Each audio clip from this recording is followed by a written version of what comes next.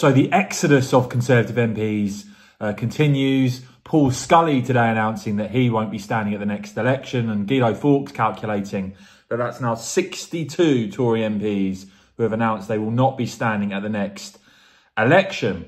And when you look at the new national Westminster poll result that dropped today, it's not hard to see why, because not only is Rishi Sunak not delivering a poll rebound and recovery for the Tories, but in many ways, their fate actually appears to be even more bleak under Sunak than it would have been if they'd stuck with Boris Johnson, or indeed given Liz Truss time.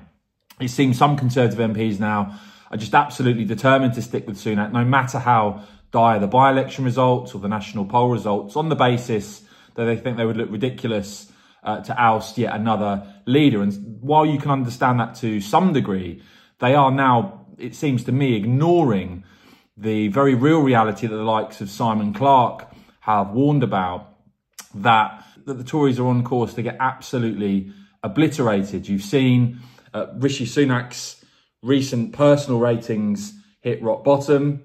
YouGov now have reform catching up uh, to the Conservatives. And just consider this today from Ipsos.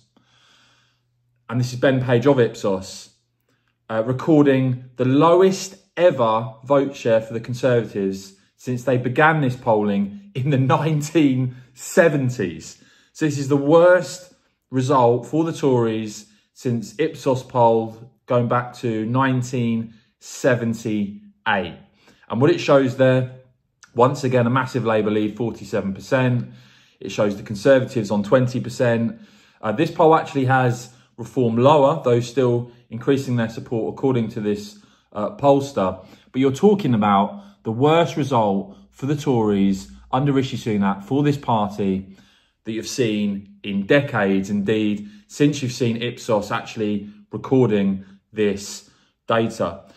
And previous Conservative low points there, you see 22% under John Major in 94 and 95, 23% in July 97, and 23% in December 2022. But this is the lowest ever since they started doing this research in the 1970s. Now, meanwhile, reform not as high as they are in other polls, but still, in terms of Ipsos's data, you can see they're doubling their support.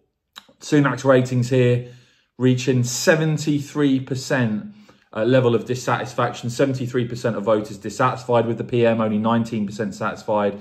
That's minus 54. Dissatisfaction with the government is at 83%, just 10% satisfied. That's minus 73, another new low.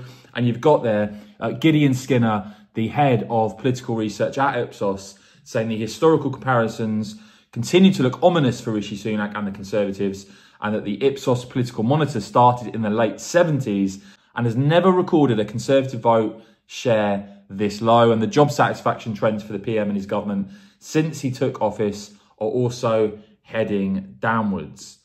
So it seems it wasn't actually uh, Boris Johnson who won that big majority, or indeed Liz Truss, who has dragged the Tories down to their lowest level of popularity, but Rishi uh, Sunak, the man who many of the great and the good uh, in Westminster backed to turn around the Conservative Party's fortunes. Let me know if any of those numbers surprise you or not, guys. I will, of course, keep bringing you all the latest on this and more. So please do whack this video a quick thumbs up. And of course, as ever, cheers for watching.